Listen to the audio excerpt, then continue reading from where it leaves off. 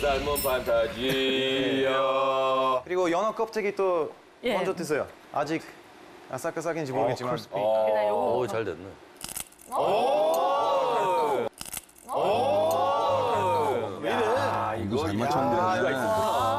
과자처럼. 네, 화삭화삭하니. 네. 조금 사실은 한 1, 2분 더 좀 있으면 좋겠어요. 이렇게 보면 그 튀긴 지포 있잖아요. 예, 예. 휴게소에 파는 거. 그 소리 탁탁 나네. 아, 예, 예, 예.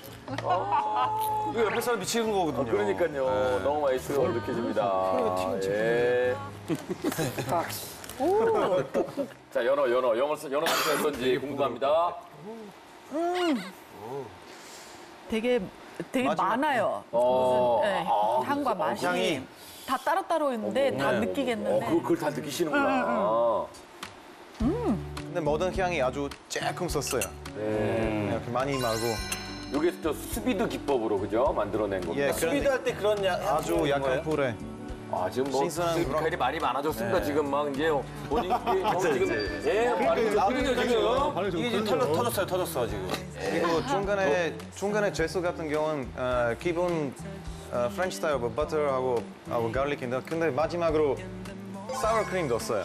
저희 외할머님이 버섯, 사워크림, 버섯 오일하고 딜 그거 and 딜 fresh 딜. 이렇게 해주시면 그것만 한 접시 먹으면 또 어, 야, 또 그런 또 추억도 떠오르면서. 예. 야, 이게 진짜 지금 연어가 지금 축제가 열렸어요, 지금. 연어 페스티벌이야. 진짜 맛있다. 뭐, 뭐 이렇게 뭐 비밀스러운 얘기처럼. 예, 예. 진짜 맛있다. 뭐 그거 비밀인가 봐요. 진짜 맛있다고.